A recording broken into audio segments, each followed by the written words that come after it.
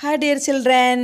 welcome back to social science class. Hope all of you fine. Today I discuss a new chapter from stone to metal. Stone എന്ന് പറഞ്ഞാൽ നിങ്ങൾക്ക് അറിയാമല്ലേ എന്താണ് stone എന്ന് പറഞ്ഞാൽ കല്ലാണ് അതേപോലെ മെറ്റൽ എന്ന് പറഞ്ഞാൽ ലോഹമാണ് അല്ലേ അപ്പോൾ ഫ്രം സ്റ്റോൺ ടു മെറ്റൽ എന്ന് പറഞ്ഞാൽ എന്താണ് കല്ലിൽ നിന്ന് ലോഹത്തിലേക്ക് okay are you ready look at the picture what can you identify from the picture the picture shows the early human life ആദിമ മനുഷ്യരുടെ ജീവിതമാണ് ഈ പിക്ചറിൽ കാണുന്നത് അല്ലേ what are the features of early human beings എന്തൊക്കെ പ്രത്യേകതകളാണ് ഈ ആദിമ മനുഷ്യർക്കുള്ളത് okay early human beings lived in forest അല്ലേ കാടുകളിലാണ് അവർ എന്ത് ചെയ്യുന്നത് താമസിക്കുന്നത് അല്ലേ ഏഹ് early human beings lived in forest അവരെവിടെയാണ് കാടുകളിലാണ് താമസിക്കുന്നത് അതുപോലെ തന്നെ എന്താണ് ദേ ഹൺഡ്രഡ് എനിമൽസ് അതായത് എന്താണ് അവർ മൃഗങ്ങളെ വേട്ടയാടുന്നുണ്ട് അല്ലേ ദ ഹൺഡ്രഡ് എനിമൽസ് നോക്കൂ they used tools made of stones and wood അതായത് കല്ല് കൊണ്ടും അതേപോലെ തന്നെ എന്താണ് മരങ്ങൾ കൊണ്ടൊക്കെ ഉള്ള ടൂൾസുകളാണ് അവർ മൃഗങ്ങളെ വേട്ടയാടാനും അവരിൽ നിന്ന് രക്ഷ നേടാനൊക്കെ ഉപയോഗിക്കുന്നത് ഓക്കെ അപ്പോൾ early human beings lived in forest they hunted animals they used tools made of stones and wood all of you clear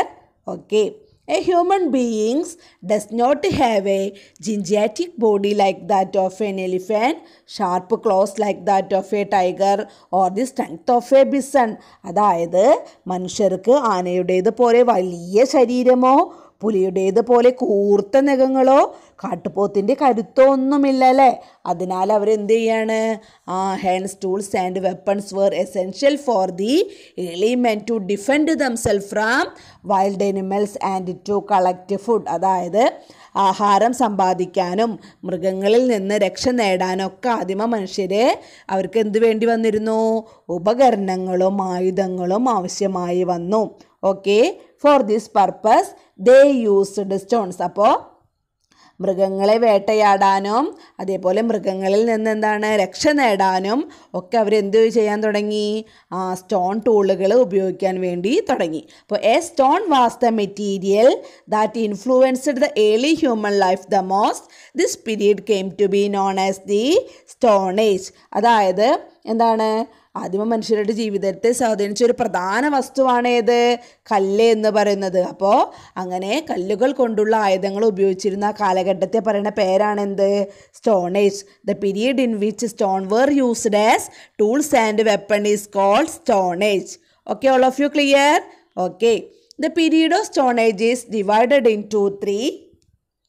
paleolithic age പിന്നെ ഏതാണ് paleolithic age or old stone age Mesolithic age, പിന്നെ ഏതാണ് Mesolithic age or Middle age, അതുപോലെ തന്നെ ഏതാണ് Neolithic age, New Stone age. Okay, all of you clear? The period of Stone Age is divided into three. First one Paleolithic age, next one Mesolithic age, next one Neolithic age. Okay, so first one discuss about Paleolithic age. It is come from Greek term it is a Greek term comes from two words palaios palaios means old lithos means stones okay it is also called old stone age അതായത് palaios എന്നുള്ള word old എന്ന അർത്ഥവും അതേപോലെ lithos എന്നുള്ള വേർഡിൻ്റെ അർത്ഥം എന്താണ് stone എന്നുമാണ് അപ്പോൾ ഇത് രണ്ടും കൂടിയിട്ട് ഓൾഡ് സ്റ്റോൺ ഏജ് എന്നാണ് അറിയപ്പെടുക okay all of you clear okay look at the weapons there are stones that the early human used can be seen in the picture അതായത് ആദിമ മനുഷ്യർ ഉപയോഗിച്ചിരുന്ന പരുക്കൻ കല്ലുകളാണ് ഈ ചിത്രത്തിൽ കാണുന്നത് അപ്പോൾ what is paleolithic case the period in which rough stones were used as tools and weapon is called paleolithic age or old stone age the period in which rough stones were used as tools and weapon is called paleolithic age or old stone age അതായത് ആയുധങ്ങളും ഉപകരണങ്ങളുമായി പരുക്കൻ കല്ലുകൾ stones ഉപയോഗിച്ചിരുന്ന ആ കാലഘട്ടത്തെ പറയുന്ന പേരാണ് നമ്മളെന്ത് paleolithic age or old stone age all of you clear for what purpose might the stone have been used എന്തിനൊക്കെ ആയിരിക്കും അക്കാലത്തെ മനുഷ്യർ സ്റ്റോൺ യൂസ് ചെയ്തിട്ടുണ്ടാവുക okay very good to hunt animals മൃഗങ്ങളെ വേട്ടയാടാൻ വേണ്ടിയിട്ട് to hunt animals next one to defend oneself from the attack of animals to defend oneself from the attack of animals അതായത് മൃഗങ്ങളെ വേട്ടയാടാൻ മാത്രമല്ല മൃഗങ്ങളിൽ നിന്ന് രക്ഷ നേടാനും അവരെന്ത് ചെയ്തിരുന്നു സ്റ്റോണുകൾ ഉപയോഗിച്ചിരുന്നു next one to dig up edible tubers അതായത് കാട്ടുകിഴങ്ങുകളെ കുഴിച്ചെടുക്കാൻ വേണ്ടിയിട്ട് അവരെന്ത് ചെയ്തിരുന്നു നമ്മൾ പൂളക്കിഴങ്ങൊക്കെ ഇല്ലേ അതേപോലെയുള്ള കിഴങ്ങുകളൊക്കെ കുഴിച്ചെടുക്കാൻ അവർ സ്റ്റോണുകൾ റഫ് സ്റ്റോണുകളാണ് ഉപയോഗിച്ചിരുന്നത് നെക്സ്റ്റ് വൺ കളക്റ്റ് ഫ്രൂട്ട്സ് അതായത് ഫ്രൂട്ട്സ് ഫ്രൂട്ട്സൊക്കെ കളക്ട് ചെയ്യാൻ നിങ്ങൾക്കറിയാം നമ്മൾ മാവിൻ്റെ മുകളിൽ മാങ്ങ കണ്ടാൽ കല്ലെടുത്തിട്ട് എറിഞ്ഞിട്ട് വീഴ്ത്താറില്ലേ അതുപോലെ തന്നെ അവർ സ്റ്റോൺ എന്ത് ഇതേപോലെ ഫ്രൂട്ട്സ് കളക്ട് ചെയ്യാൻ വേണ്ടിയിട്ടും ഉപയോഗിച്ചിരുന്നു okay all of you clear during this age men lived in caves and the eight fruits and the two birds and meet to hunted animals the use of fire was an invention of this age അതായത് ഗുഹകളിലായിരുന്നു അക്കാലത്തെ മനുഷ്യരുടെ താമസം കാട്ടിൽ നിന്ന് കിട്ടുന്ന കിഴങ്ങുകളും പഴങ്ങളും വേട്ടയാടി കിട്ടുന്ന മൃഗങ്ങളുടെ മാംസവും അവർ ഭക്ഷണമായിട്ട് ഉപയോഗിച്ചു അക്കാലത്താണ് മനുഷ്യർ എന്ത് ചെയ്തത് തീ ഉപയോഗിക്കാൻ വേണ്ടിയിട്ട് തുടങ്ങിയത് okay look at the picture for what purpose fire might have been used by the early man okay first one to cook food അതായത് ഭക്ഷണം പാകം ചെയ്യാൻ വേണ്ടിയിട്ട് അതേപോലെ എന്താണ്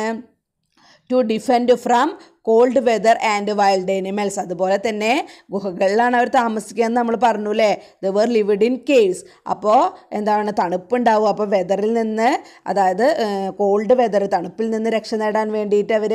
തീ ഉപയോഗിക്കാൻ തുടങ്ങി പിന്നെ എന്താണ് ആ to defend from wild animals wild animals നിന്ന് രക്ഷ നേടാനും അവരെന്ത് ചെയ്തു ഫയർ ഉപയോഗിക്കാൻ തീ ഉപയോഗിക്കാൻ വേണ്ടിയിട്ട് തുടങ്ങി for what purpose fire might have been used to cook food to defend from cold weather and wild animals. All of you watch the pictures.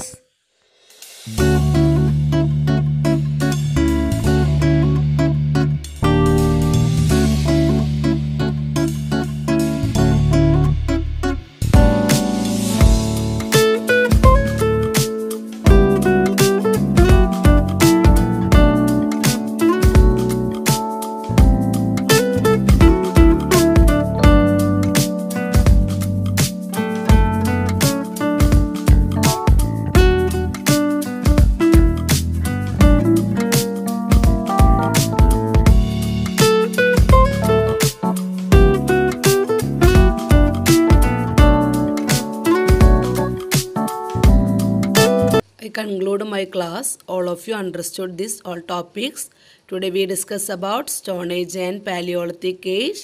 Okay. Thank you.